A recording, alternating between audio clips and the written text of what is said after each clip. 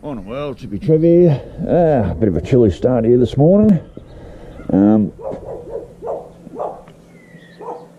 fucking dogs.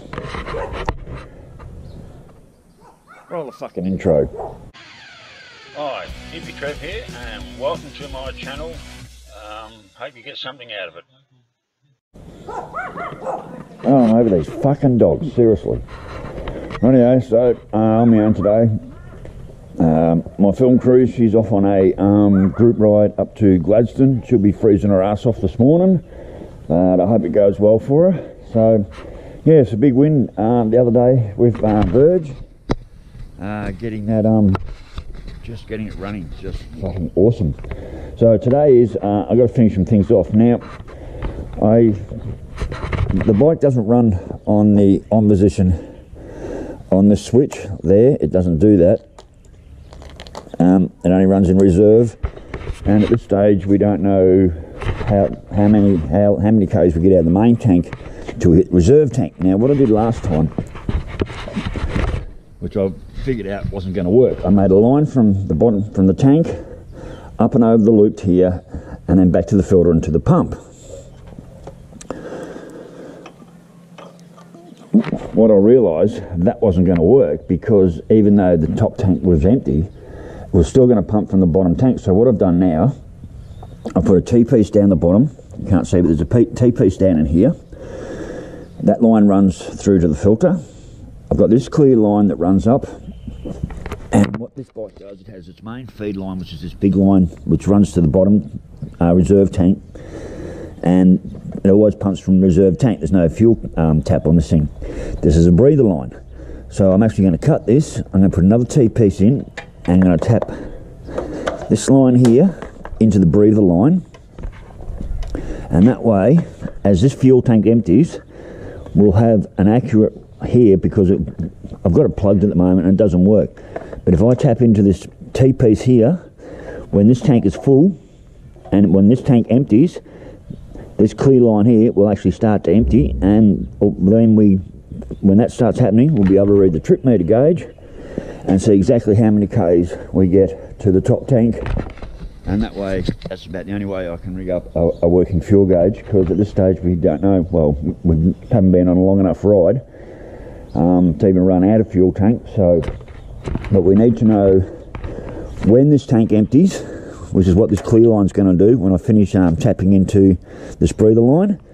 And then there's another three litres left in this tank, but it'll only go down as far as about here because that's where the T-piece is. And once it drops below the level of the T-piece, it'll only be sucking air. But there's at least good two litres there in reserve. But what we need to know is how many Ks do we get out of this tank before it starts dropping down there on this clear line. So that's so that's what I'm going to do next. I'm just going to drop a T line in there um, and then hook it all up and then after that um, front fork seals need to be done I've got the seals here. I've watched all the videos. Um, I'm fairly confident that I can fix it. So rightio worlds I'll get back to you. Um, yeah no one here today to help me film so I'm just going to do it and I'll show you after the job's done. Later bye. Rightio worlds so it's done. Cut the line and I put the T-piece in. Um, and that's it here. Hopefully I've got enough room to get me, I have, secure that back in with the seat on. So this will be my fuel gauge here. So when this tank runs out, we'll be able to see the fuel starting to drop. And just by reading the trip meter, we'll know exactly how many litres we get out of this top tank. So that is my fuel gauge. So like I said, underneath there's a T-piece that runs straight across to the filter. Um, and it pumps from the bottom tank here all the time. And this tops into the breather line at the top up there so that way this level can go up and down and be extremely accurate because it can breathe. That is, I'm going to put another cable tie on there, but anyway, there is our fuel gauge to know when the top tank runs out of fuel.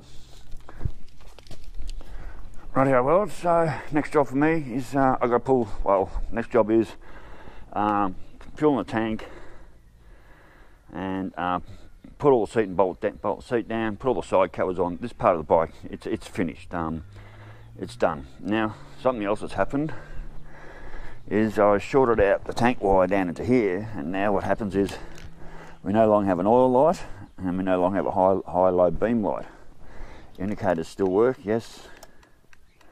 But the oil light only comes on now when you uh, hit the start.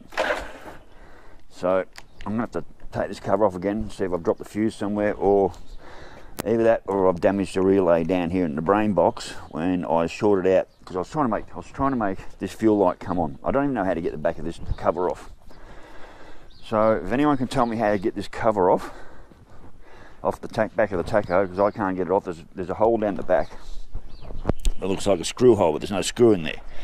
I've tried, I've tried and I've tried to get this back cover off. I can't get it off. I don't know what's holding it on there. Because um, I was going to, I want to replace this low fuel level globe or make that light up. Because that's part of the reason why the reds and the on switch on the fuel tap doesn't work. And um, yeah, so I'm going to have to pull this cover off and see if I've knocked the fuse or something. I don't think I have because that light comes on when I hit the start. But some anyway, after crossing over a wire down here off the bottom of this fuel tank that runs the sensor, I have blown the oil light and also the high beam light doesn't come on either. So I've done something there.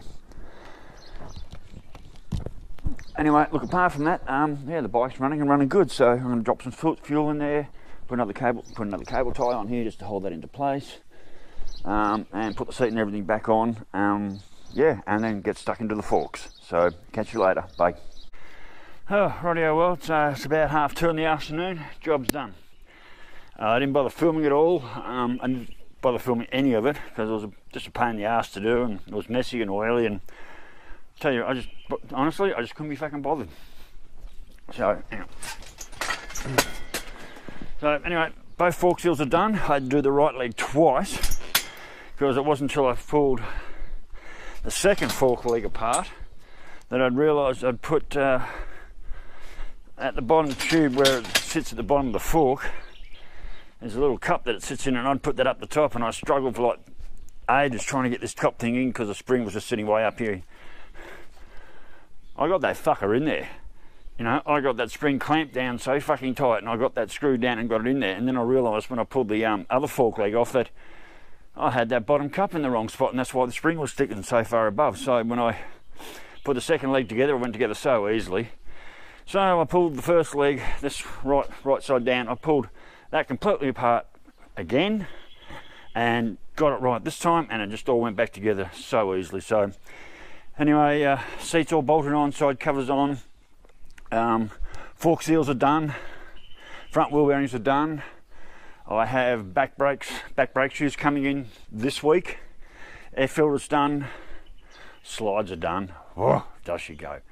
So uh, anyway, worlds, um, yeah, I couldn't be bothered filming. Pulling. There's plenty of videos out there of people rebuilding Virago forks, so I don't think I need to put one together. But just to let you know that for today, started about oh, about 10 o'clock, and it's now half two in the afternoon. I didn't have too many breaks, but yeah, it took me quite a few hours to get it pulled down, stripped down, and done. But it's done. It's all been apart and all back together and all working. So, one step closer to a roadworthy. Anyway, world, stay safe, keep your knees in the breeze, and I'll catch you later. Bye.